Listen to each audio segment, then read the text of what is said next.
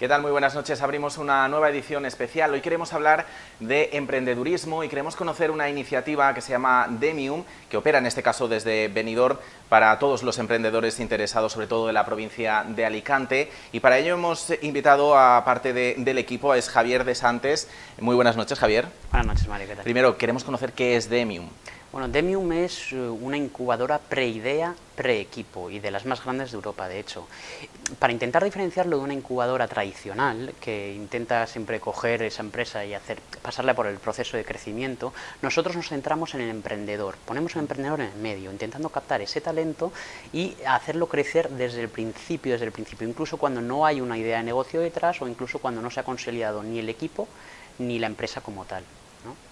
Eh, dices eh, captar talento, hay talento en la provincia, hay talento en España que no se termina de explotar lo suficiente. Correcto, hay muchísimo talento y en la provincia de Alicante hay muchísimo, muchísimo talento que no consigue, no consigue encontrar la pieza que le falta del puzzle para poder crear un proyecto, ¿no? que, es, que no, no consigue encontrar ese... Mm, ese, ese, perfil complementario para crear un proyecto, para crear una startup. ¿no? Hay muchísimo talento que queda un poco desaprovechado eh, y en la provincia de Alicante es una pena porque tenemos dos grandes universidades y muchísimas otras instituciones educativas que forman muy bien a, este, a estas personas que luego cuando entran en el mundo laboral pues no tienen quizá esa opción o no tienen esa facilidad que les puede dar una institución para crear su propio proyecto y para crear su propia empresa, ¿no? y eso es una pena. ¿Cómo funciona Demium? La gente que tiene una idea o no, lo comentabas tú, o, gente que quiere emprender, que no quiere eh, someterse al mercado laboral mm, tradicional que conocemos, ¿cómo funciona Demium? Bueno, pues Demium para el emprendedor, y siempre lo voy a hacer desde un punto de vista desde el emprendedor, el emprendedor lo que hace primero es inscribirse en un programa, en un, programa, en un, en un evento que nosotros creamos cada dos meses en cada sede que tenemos, y ese evento dura un fin de semana y es un evento durante 48 horas muy intenso en la que los emprendedores eh, en 48 horas se fijan puramente en crear una empresa en 48 horas, con la dificultad que conlleva crear una empresa en 48 horas.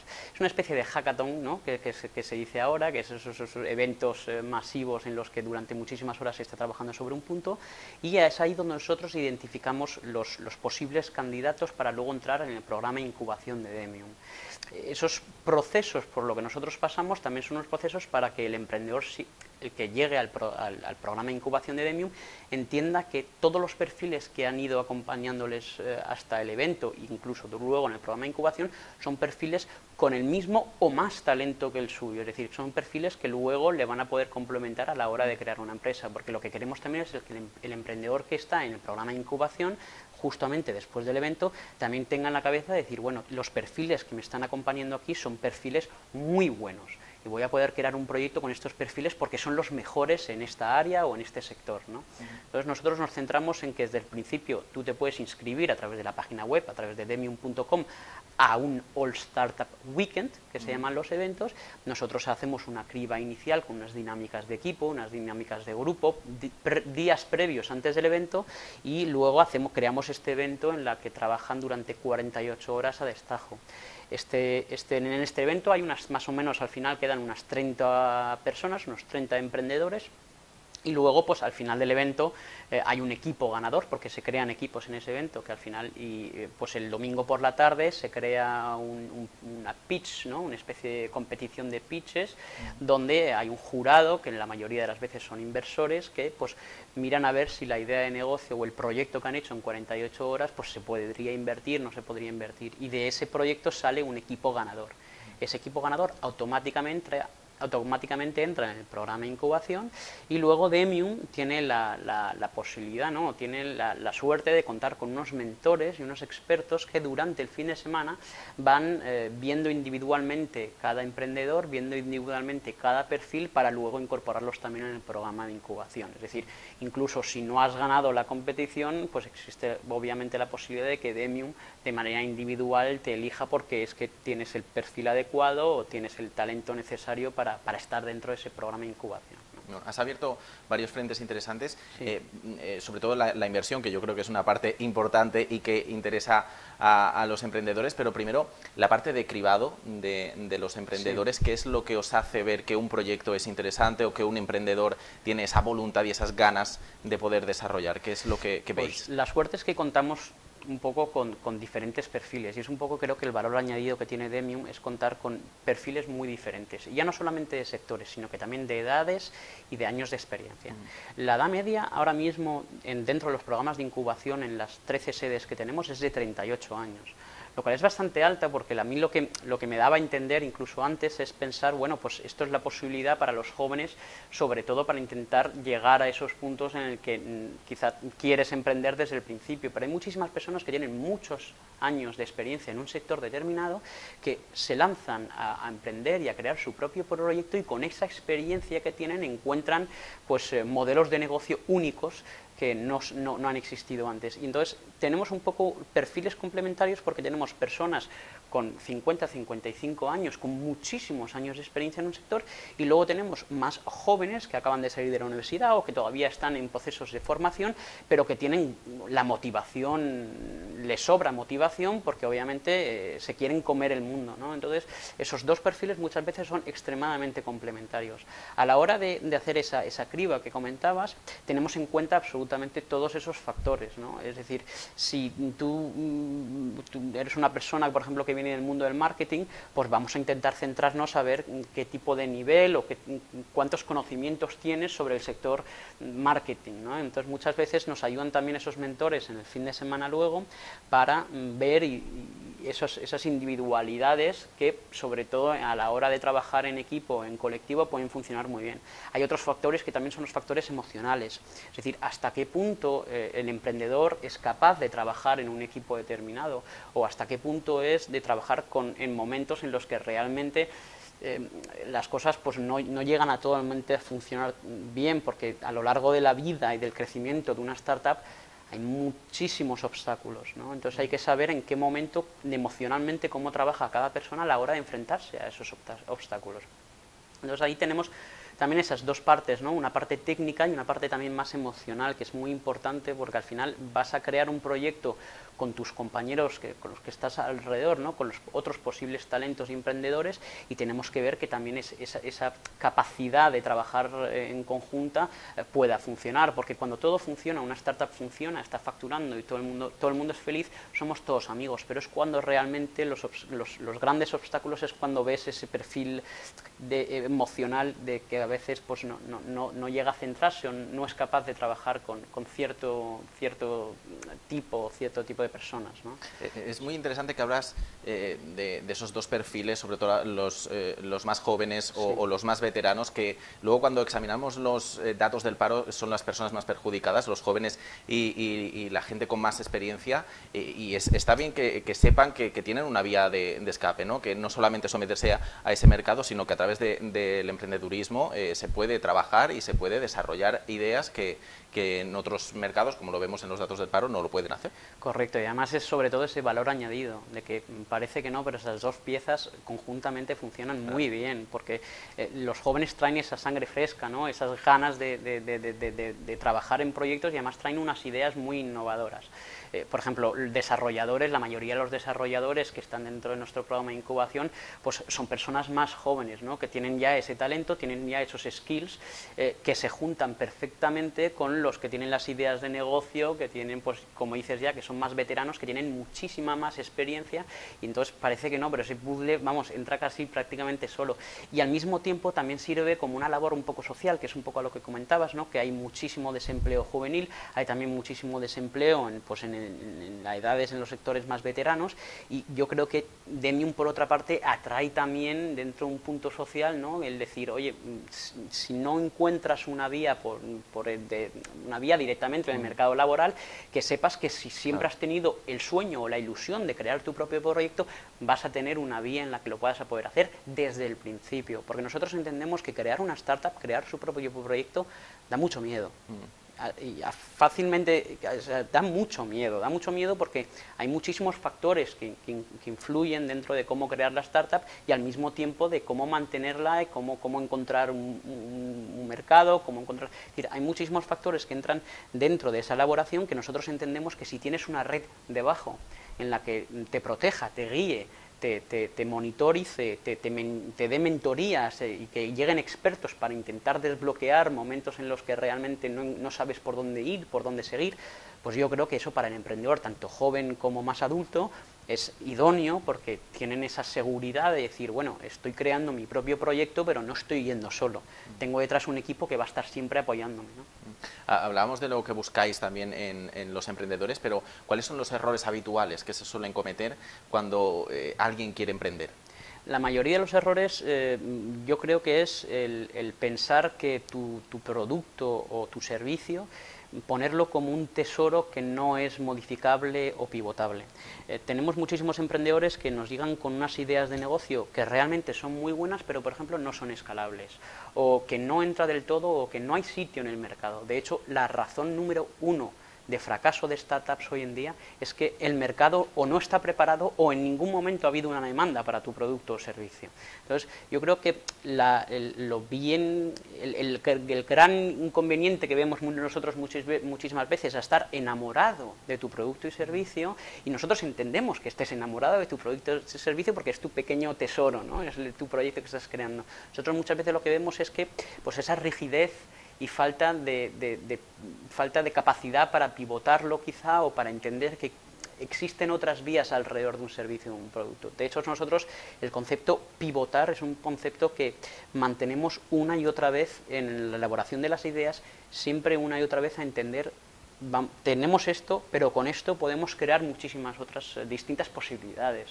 Entonces, un poco es yo donde creo que es el, donde el emprendedor al principio, ¿eh? de, mm. hablo de, de, proyecto semilla, yo creo que es donde el emprendedor un poco pues que le falta esa capacidad de, de ser más flexible. Mm. Eh, seguramente mucha gente que nos esté viendo le interese esta, esta iniciativa, pero diga, eh, necesito tiempo para poder eh, formar parte de esto o necesito un dinero para dejarme a lo mejor un tiempo y poder formar parte de esto. Supongo que es algo habitual también en la, gente. Es algo habitual y por eso nosotros, eh, por parte de Demium, tenemos que pedirles a, los emprendedores, lamentablemente la palabra ahora se dice full life, ¿no? es decir, necesitamos que estés completamente volcado en tu proyecto porque si no, no va a funcionar. Estamos hablando de crear una startup y entrar en ronda de financiación en menos de seis meses. Es decir, eh, vamos a una velocidad de vértigo. Y tenemos que ir a esa velocidad porque el mercado nos pide que vayamos a esa velocidad.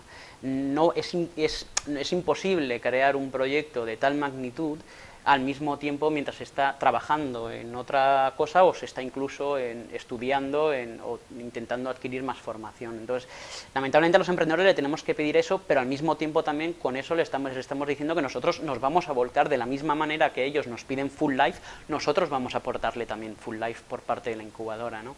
Y es cierto que muchas veces existe un poco ese, esa dificultad de mantenerse durante seis meses sin tener ingresos, etcétera, porque obviamente pues, no existe la parte de ingresos, pero si en tu, en tu startup consigues facturar en tres o cuatro meses estás empezando ya a facturar, te pondrás el salario que creas porque es tu empresa, que decir que al fin y al cabo sí es cierto que durante seis meses lo más normal y lo más habitual es que no exista ninguna percepción de, poder cobrar un dinero, pero ha habido casos, incluso en Demium, en la historia que ha tenido Demium hasta ahora, ha habido casos de, de startups que han facturado muy temprano y entonces pues, los, los, um, los fundadores del proyecto pues, han podido poner un, un salario.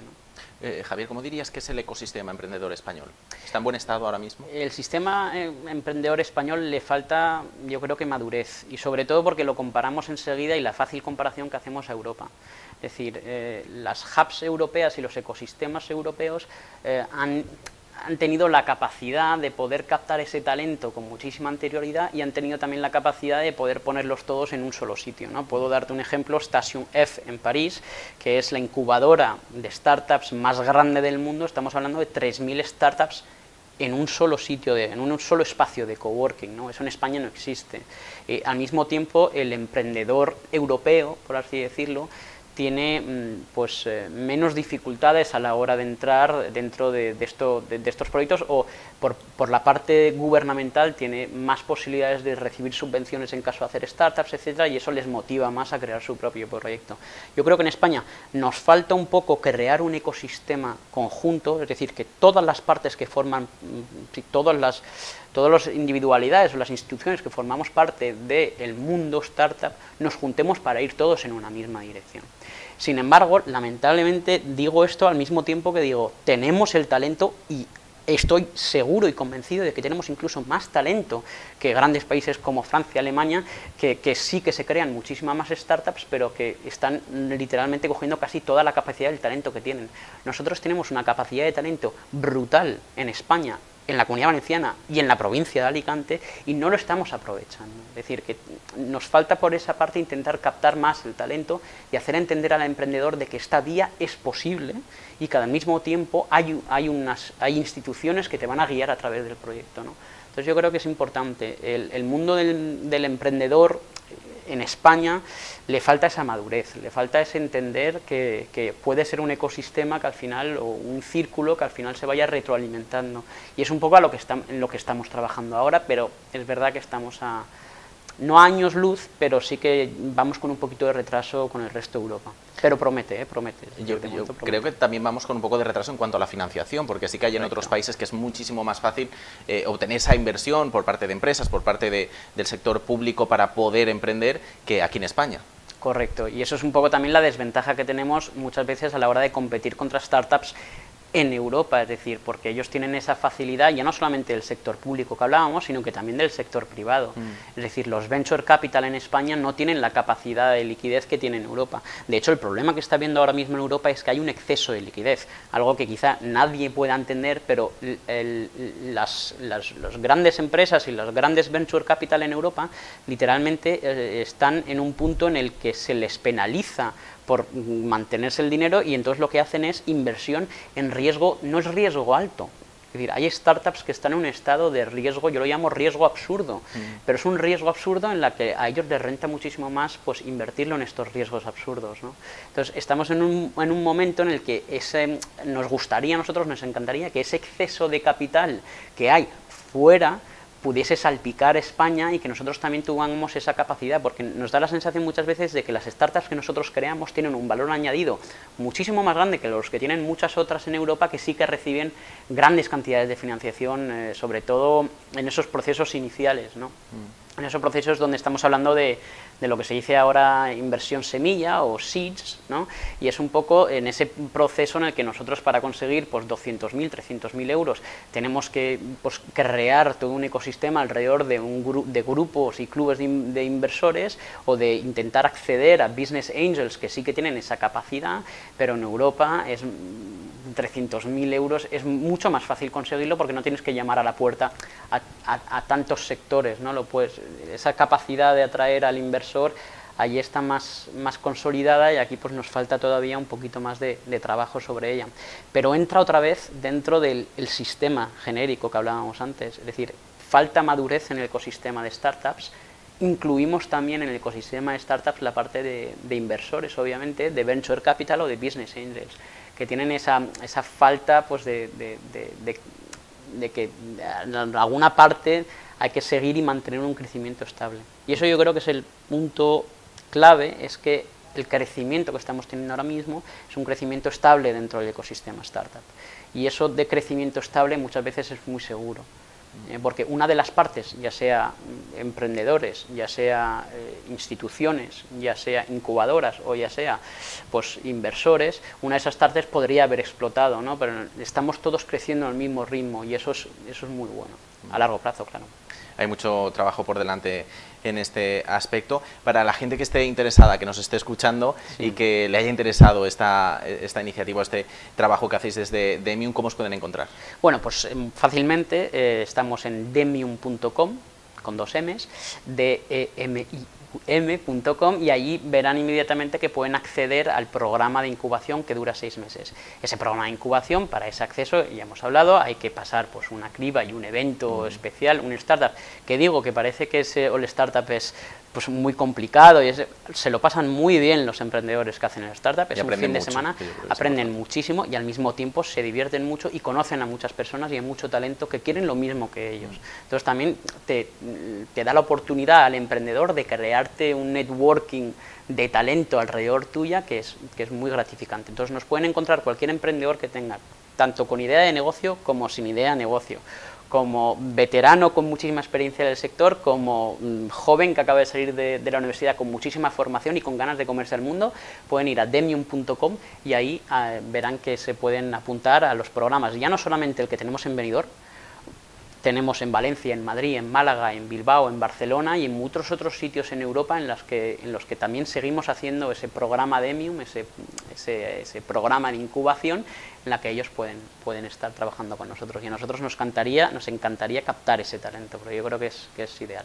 Bueno, pues esas son las vías de contacto con Demium. Si tienen talento, ya saben, a través de Demium van a poder explotarlo y desarrollarlo. Javier de Santos, ha sido un placer. Eh, te agradezco que hayas estado esta noche con nosotros. Muchísimas gracias por invitarme, Mario. Y a ustedes, como siempre, les espero la próxima semana en una nueva edición especial. Gracias por estar al otro lado.